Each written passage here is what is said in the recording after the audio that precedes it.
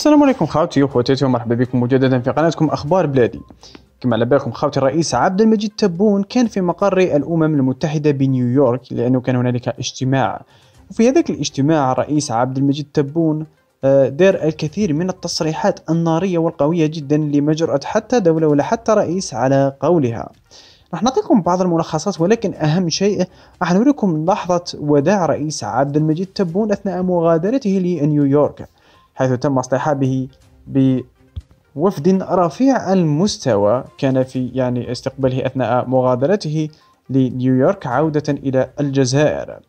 أنا أخوتي خاصنا نعترفوا باللي يعني هذا اللقاء اللي داره الرئيس عبد المجيد تبون ولا اللي حضره الرئيس عبد المجيد تبون كان مثمرا جدا. يعني على الأقل أعطاه واحد ال boost ولا واحد نقدر نقولوا تيربو للدبلوماسية الجزائرية خلاها ولا خلى الدول الأخرى ترى الجزائر بأعين أخرى بأعين الفخر بالنسبة للعرب. لأن الرئيس عبد المجيد تبون وفي وقت هرولة المطبعين مع الكيان الصهيوني مثل السعودية للبارح فقط آه، أعلن عنها MBS ولا محمد بن سلمان أنه سيطبع. رئيس عبد المجيد تبون وصف إسرائيل بالمحتل أول مرة في آه، هيئة مجلس الأمم. قبل ما نبدأ في تفاصيل أكثر حول هذا الموضوع خوتي أرجوكم باش تدعمونا أفضل دعم قدموا لنا الضغط على زر الإعجاب. وأيضا اشتركوا في هذه القناة خوتي على بالكم هذا الأمر راح يدعمنا بزاف نتصدى الحملات السينيور شكرا لكم. في الأول خوتي راح نوريكم بعض الفيديوهات ثم في الأخير نوريكم كيفاه يعني تم آه، آه، اصطحاب رئيس عبد المجيد تبون من أجل مغادرة آه، نيويورك لأنه كان هنالك وفد رفيع المستوى حقا.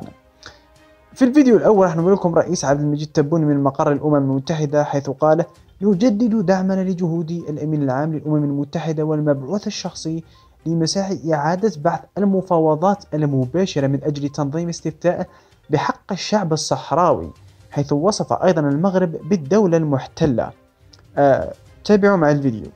ونتطلع إلى الوصول إلى تصفية نهائية لظاهرة الاستعمار مع آخر مستعمرة إفريقية حيث لا زال الشعب بأكمله في الصحراء الغربية محروما من حقه الأساسي في تقرير المصير عبر استفتاء حر ونزيه يتوافق مع خطة التسوية الأممية الإفريقية التي اعتمدتها اعتمدها مجلس الأمن سنة 1991 ووافق عليها الطرفان والتي تظل تنتظر التطبيق. وفي ظل هذا الواقع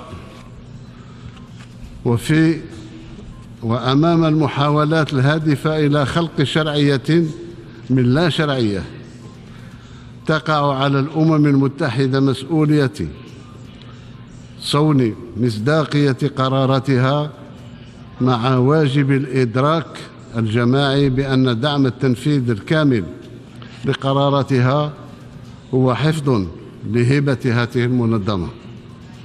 وفي هذا الإطار أجدد دعمنا لجهود الأمين العام لمنظمة الأمم المتحدة السيد أنطونيو غوتيريش ومبعوثه الشخصي في مساعي إعادة بحث مسار المفاوضات المباشرة من أجل تنظيم استفتاء يسمح بتقرير مصير الشعب الصحراوي طبقا لقرارات مجلس الأمن.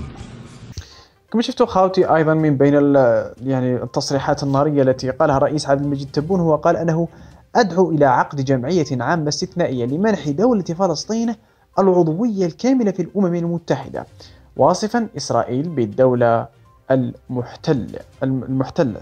شايف تابعوا مع الفيديو. كما أدعو من هذا المنبر مجلس الأمن إلى إصدار قرار يؤكد بموجبه حماية الحل الدولتين التي يحظى بإجماع دولي ووقف الأعمال أحادية الجانب للسلطة القائمة على الاحتلال وعلى رأسها الأنشطة الاستيطانية في الأراضي الفلسطينية. في الأراضي الفلسطينية المحتلة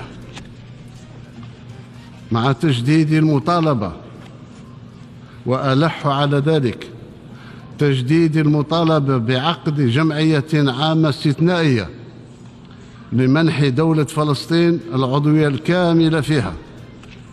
وأكرر مع تجديد المطالبة بعقد جمعية عامة استثنائية لمنح دولة فلسطين العضوية الكاملة في الجمعية العامة للأمم المتحدة.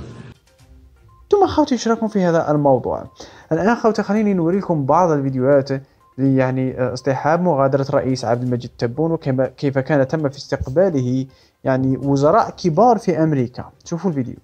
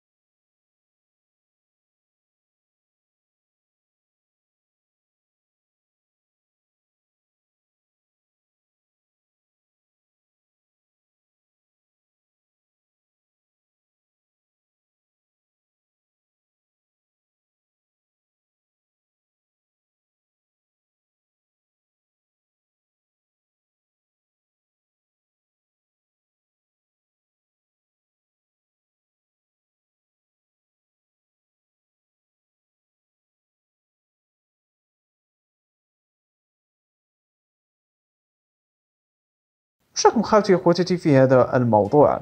خبرونا رايكم في التعليقات.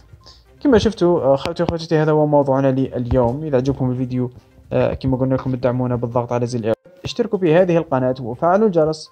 كل هذه الأمور راح تدعمنا نصدوا لكل حملات SNR نشكركم جزيل الشكر على المشاهدة وإلى اللقاء. راك يعني هدرت بلغة عربية فصحى وبلغة الاسلام وصرتو كيقول بسم الله الرحمن الرحيم. نقول لك أنا لحمي شوك فكرتني في وقت الهواري بومدين ربي يرحمه. بارك الله فيك السيد الرئيس. بارك الله فيك. من عند مواطن بسيط من عند مواطن بسيط من مدينة عنابة. راك هدرت كلام اللي رايس ما هدروا من قبل اللي عداو على الجزائر من اللي رايس من اللي ورا الهواري بومدين واحد ما هدر. كيما هدرت أنت البارح عجبتني ياسر. surtout كي قلت القضية فلسطينية. فلسطين فلسطين وتعاود غير في فلسطين. كل ثلاثة اربعه راك يعني هدرت بلغة عربية فصحى وبلغة الإسلام. surtout كي قلت بسم الله الرحمن الرحيم. نقول لك أنا لحمي شوك فكرتني في وقت الهواري بومدين ربي يرحمه. بارك الله فيك يا السيد الرئيس. بارك الله فيك. من عند مواطن بسيط من عند مواطن بسيط من مدينة عنابة. راك هدرت كلام اللي رايس ما هدروا من قبل اللي عداو على الجزائر. من اللي رايس من اللي ورا الهواري بومدين واحد ما هدر. كيما هدرت أنت البارح عجبتني ياسر. سيرتو كي قلت القضية فلسطينية فلسطين فلسطين وتعاود غير في فلسطين. كل ثلاثة أربع كلمات تهدر فلسطين.